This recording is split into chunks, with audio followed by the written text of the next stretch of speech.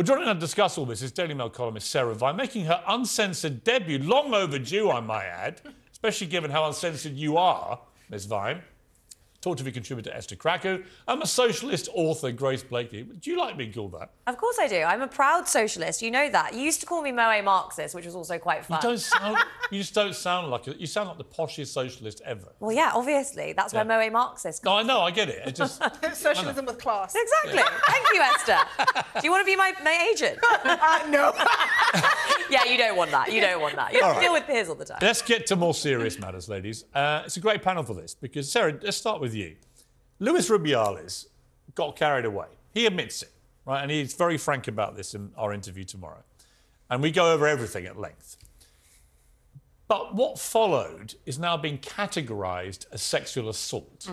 Is that what we all witnessed? Well, I mean, all I can say is I've just seen the same clip that everybody else has seen, which is him sort of overexcited, grabbing her and giving her a big smack on the lips. And I can't say that I didn't think there was an iota of sexualness in that. Sexualness? Hmm. Sexuality, Right. sexiness, whatever. I don't think it was sexual in any way. He was just very overexcited and just wanted to give her a big kiss on, on the lips because she'd done so brilliantly. Hmm. I mean, everybody was kissing everybody. They were kissing the trophy, they They're were kissing each other. There was just a lot of kissing going on. It was quite kissy.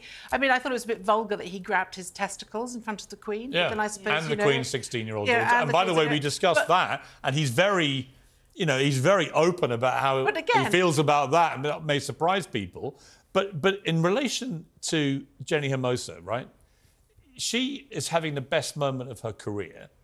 But for the next three weeks after that moment of crowning glory of them winning the World Cup, all that anyone has talked about is her being grabbed by the president of her football association with both hands Yeah. and snogged on the lips. Now, to put it in perspective, if Prince William, who's the president of our football association, if when the Lionesses had won the Euros a couple of years ago, if when that had happened, William had done that to the captain of the Lionesses, I think all hell would have broken loose. It could be an incentive also for them to do really well and win the football. If I mean, if you, you look like Henry Cavill.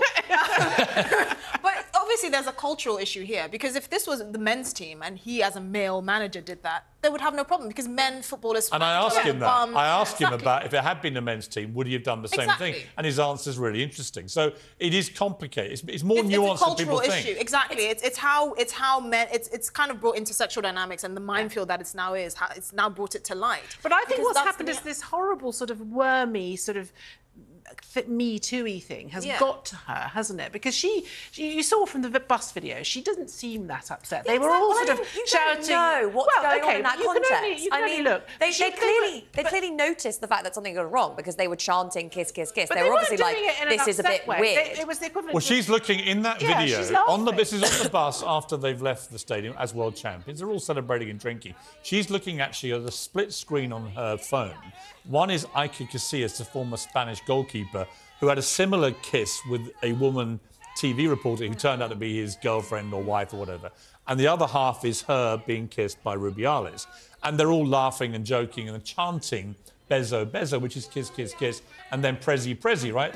It doesn't, on the face of it, look like they're all in trauma from his assault. Well, I mean, I, the, the point isn't whether or not they've been traumatized, and we can throw around this word Isn't trauma it? as though Isn't it? as though all sexual assault is supposed to kind of break a human being down to their very core, and they're like lying on the ground crying. That's not how sexual assault happens. You know, you experience it in the moment. It's often shocking at first. At first, you maybe don't even process what's going on. You're Mm. a bit like, oh, someone's touched me in a strange way, but I don't want to make a fuss about it because I'm on the tube or I'm in a public space Mm. or I've just won the Women's World Cup. So you kind of go along, and then eventually someone's like, oh, was that a bit strange? And you're like, yeah, maybe it was a bit weird when that happened to me, Mm. actually. Maybe I would have liked that situation to have taken place But a bit you know- differently. you know, and I think that's is, clearly what's happened the here. issue Because ultimately, is- I just quickly want to say this before we, we go on.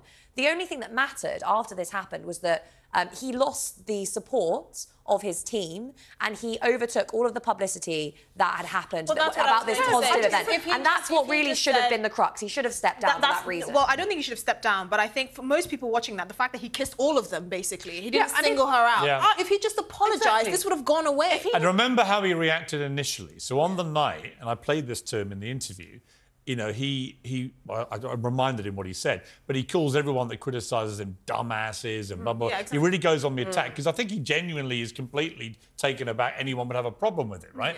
And I think that that's sincere. I think he just had no idea what he'd done. I think watching it, I was trying to think this morning, you know, I was talking to my wife about it and say, somebody you don't know that well. I mean, he does know them well, so it's a complicated thing. But if somebody came up and just kissed you on the lips, Yeah. Who's not your partner and not a, a member of your family or something, and even then, depending on the family member, it's weird, right?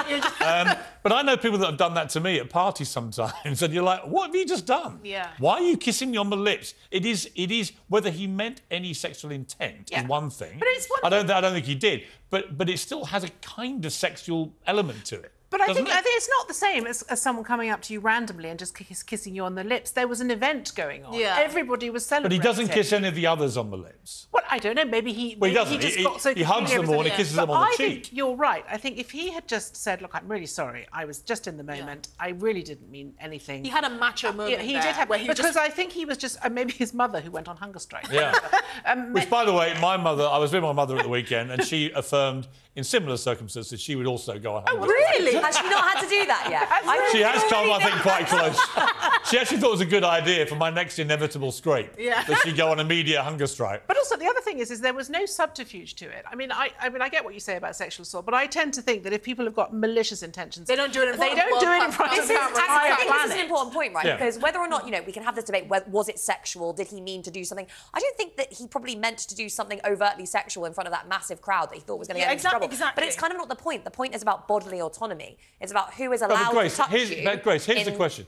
Should he have lost his job over it? For, for the kiss. Never mind the fallout, but the Well, I mean, kiss. I think the moment if he had done the kiss and the players had come out and said we were fine with this, it was a common thing that we do all the time. It's quite normal culturally. It's it's appropriate and it's fine, whatever. Then that would have been one thing. The fact is that that wasn't what happened. They came out eventually after you know a period of reflection Hmm. and said we're not comfortable with this. We're not okay with this. And ultimately, the only thing that matters is that he lost their confidence. And she did This say, to be fair to Jenni, them. yeah, it's about to- them. And to be fair to Jenni Hermoso, there, she is heard saying on the night, "I didn't like it." Yeah. So I don't think she's, I- you know, I think she's probably wrestling with what this is I really think he happened. gave her a special gift because she scored the goal. Hmm. Like I think that was it. Like because we mentioned that he didn't kiss anyone else on the special list. I was like, you want it? Oh, you are a superstar. You are And like, particularly you- brilliant. You, know what Yeah, I mean? I think- But okay, but, let, I let me ask you. So, Grace, so you think he should have lost his job? I think when he lost the confidence of the team, then he should have stepped down. Right, so absolutely no 81 members of the women's team, and then the men joined in. They weren't going to play again if he was staying president. So the position becomes rapidly untenable. It's just, yeah, But should it now be considered a crime? She is now Well, pushing for him to be Well, prosecuted. is- She had 14 days to decide if she wanted to be party to him being criminally prosecuted, and she took that option. Now, that's where I, in this whole story, I'm like, hang on, hang on. Well, He- all right, he loses his job. He was inappropriate and wrong. He's admitted that. He's not hiding it. We all saw what happened, right? But is this really a criminal act? Well, look, we had uh, the last time I was on the show when you were away discussing this topic. There was a Spanish football journalist on who was talking about the context for this, and this is really important because Spain had recently passed a law outlining the ways in which it was and wasn't appropriate to touch women, to touch people.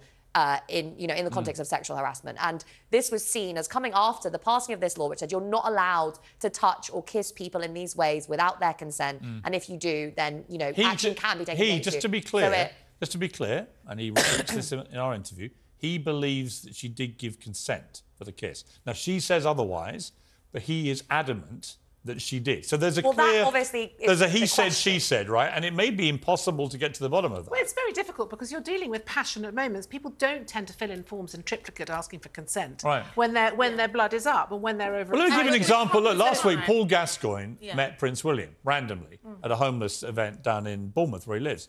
And he just went up and kissed Prince William, mm. right? I don't remember him asking him if he could, No. right? The- the- so, in other words, this kind of interaction, it, you know, it did make me feel like, I'll be honest, it made me feel a bit uncomfortable watching what he was doing. Mm. Yeah. And I think when he looks back on it, and the crotch grabbing in front of the Queen and her 16 year old daughter. It, I, no thanks. This is a ridiculous way for a president of a football association to behave on the biggest stage in the world, particularly when your team's just won. Yeah. Yeah. So what are you doing? It's not about you. Um, but I can buy into the idea he just got completely carried away because they won the World Cup. I don't that's know what the men usually if. Arsenal win the Premier League next season. Well, the men this season, jump on I don't know who I may jump up and kiss randomly. But I mean, the men I sincerely hope none of you are in my proximity. But Footballers sort of practically assault each other on Exactly. the pitch. Well, every so time do they rugby score players. a I think you know you have to again like learn to we have we have to separate intention from the I was just about and to say. ultimately, the law is done, and that's what we're talking about right now. It's not done based on intention, really, other than no, in certain there is- cases. but there- no, no, but that's other than in That's cases. wrong. Great, great. That's wrong. Grace, With notwithstanding, I think you make some very good points, unusually, I have to say, um, which I can almost buy into. Uh, just in your gut, do you think he was trying to make any kind of assault on her or had any sexual motive for what he I did? don't think this was about sex. And actually, I don't think that a lot of sexual assault cases are about sex. We know they're not. They're often That's about power. power. I knew you were gonna They say are. that. I They are about. Well, I mean, Well, it's- he, he was the president of the Football Association Yeah. there. I mean, It's there's no doubt there is a power dynamic. He is, thinking he's the ultimate boss, right? Exactly. It's about men thinking that they have some sort of hold or charge or Hmm. ownership over another person's body.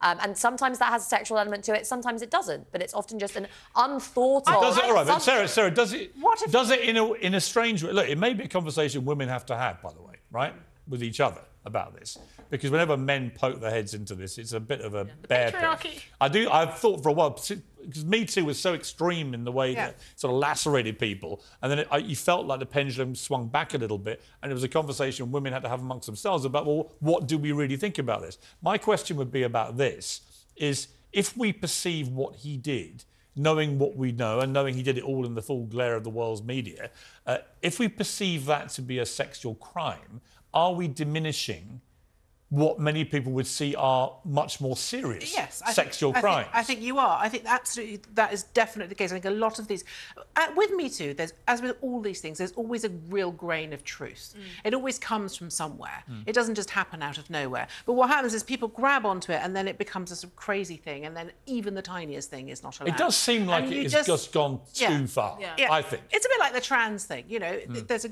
there's a really serious issue there that's very Yeah. important for a very small number of people, but then it turns into a kind of massive row and good. culture wars, and it's a disaster. Right? I, I think that you know there's an element in which there's uh, there's a parallel in the sense that most of the time the boundary is fairly clear, right, in terms of what is and isn't sexual assault, and yet we often see the situation where the media picks up and goes with, for a very, very long time, a kind of a- an edge case, a fringe case, a, a case where you're like, oh, was this or wasn't this? And then that's used to undermine the processes and systems that are used to, let's say, support trans people or prosecute sexual assault. And now we live in a country, bear in mind, where 99% of rape cases just there's there's no justice for the victims whatsoever, and that's partly because of the way our legal system's I mean, the unusual, the unusual, the unusual thing here is we all saw what happened. Yeah. Right. So there's nothing that we need. There's nothing more to see, really. I mean, Yeah. there's a bit of interaction. He says some, some slightly different angles where he says that she lifted him up, and he says, "Can I give you a peck?" And she says, "Yes." And maybe she didn't hear that. Maybe she misunderstood him. Maybe it's just a complete breakdown in communication. But certainly, if you look at the events afterwards in the dressing room where they're all partying, on the bus where they're all partying, I, you just don't get a sense I mean, that anyone thinks something really bad's gone down here. But in a way, this is a microcosm of what happens at- in a lot of these cases, which is that, you know, he doesn't think he's done anything hmm. wrong. He, he's misread the signals, clearly. Yeah. She, because she says she's a victim, we now have to say you are a You're a victim. victim, yeah. But, she- but I don't think she's a I think- I think maybe our- other people don't. Oh, our nat- so then, so then we get to this awful thing where everybody is like, well, you can't say she's not a victim because mm. she is a victim because she says she's a victim. But you say, but I see, I saw what Yeah. Who, happened. who commits sexual assault Yeah, on? and I and I Well, look, talking of She is. victims, I do want to just take a bit of time out from this debate. It's been a great debate, by the way.